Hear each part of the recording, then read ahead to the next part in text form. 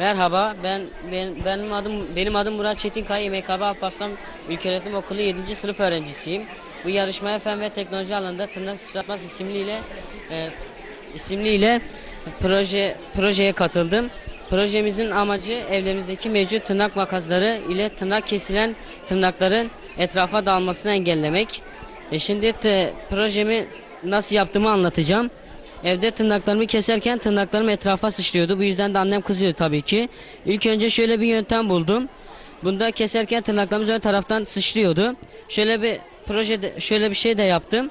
Bunları t- tırnak makasının e, parmağımıza göre de ayarlayabiliriz.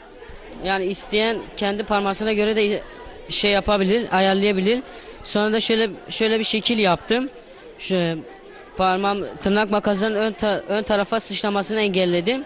Şöyle saydam bir düzenek şeffaf dosyadan. E, şimdi diyeceksiniz tırnakları nasıl içinden dökeceğiz? Ona da bir yöntem buldum.